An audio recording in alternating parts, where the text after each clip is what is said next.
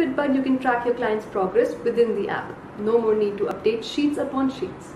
Hi trainers, I am Apra Pathak from FitBudd and today I'll show you how to track your client's progress within the FitBudd app. You can analyze your client's progress in two ways. Number one, through the check-in section. Go to check-ins on your FitBudd dashboard. Here, you can analyze each user's check-ins to track their progress. Another way to go through your client's check-ins would be through the progress module in the client section. This, you have to click on clients on your FitBudd dashboard.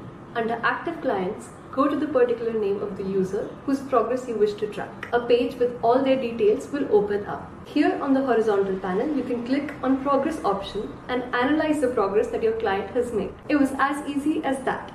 Make sure your clients are regular with their check-ins so the progress can be tracked thoroughly. I hope this video helps you understand your FitBudd app better. And stay tuned for more such videos. Happy training! Música